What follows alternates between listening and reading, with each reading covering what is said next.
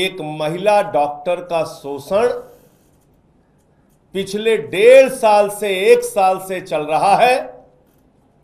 उसकी शिकायत बार बार हो रही है। बावजूद इसके, एलजी शोषण करने वाले एमएस को बचाने में लगे हुए हैं। यह हैरान करने वाली बात है अपने आप में। और शायद इसीलिए भारत के प्रधानमंत्री नरेंद्र मोदी जी ने और भारतीय जनता पार्टी ने एलजी को ट्रांसफ़र पोस्टिंग और कार्यवाही का अधिकार दे रखा है कि जितने भी ऐसे महिलाओं का शोषण करने वाले लोग हैं, जितने भी ऐसे महिलाओं के खिलाफ अपराध करने वाले लोग हैं, उनका संरक्षण करो। ये काम दिल्ली के एलजी कर रहे हैं। आज मैं एक अत्यंत गंभीर मामले का खुलासा आपके सामने करने जा रहा हूँ। और आप जानकर हैरान हो जाएँगे कि किस तरह से दिल्ली के एलजी के संरक्षण में एक महिला डॉक्टर का शोषण पिछले डेढ़ साल से, एक साल से चल रहा है। उसकी शिकायत बार बार हो रही है।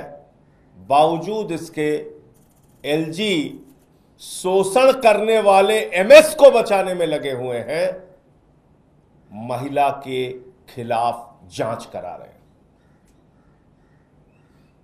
यह हैरान करने वाली बात है अपने आप में।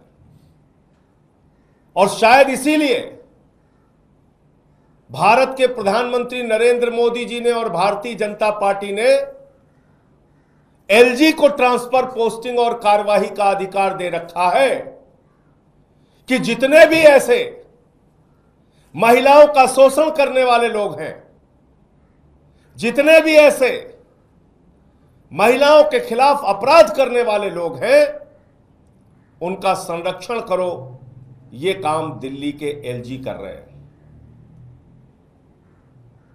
यह घटना है दिल्ली के एक सरकारी अस्पताल की।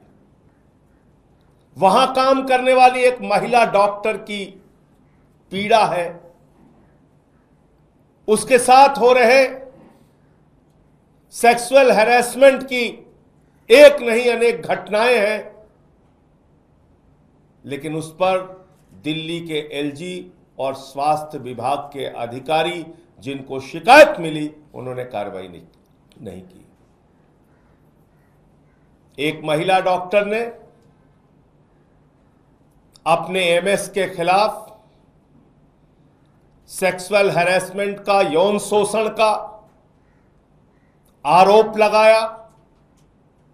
इसकी शिकायत करने के लिए जो दिल्ली का स्वास्थ्य सचिव है, दीपक कुमार, उस दीपक कुमार से बार बार मिलने की कोशिश की, दर्जनों बार मिलने की कोशिश की पिछले साल अक्टूबर में 2023 अक्टूबर में उस महिला ने शिकायत की और चार महीने धक्के खाने के बाद उस मामले में एक इंटरनल कमेटी बनाई गई। दिल्ली का स्वास्थ्य सचिव दीपक कुमार उस महिला डॉक्टर से नहीं मिलता।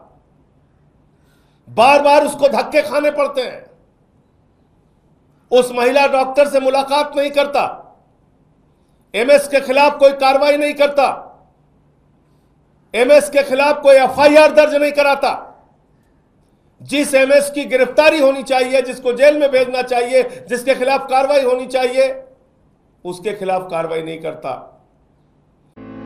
देश विदेश की ताज़ा खबर पाने के लिए हमारे चैनल वी न्यूज़ को सब्सक्राइब करें और बेल आइकन दबाना ना भूलें।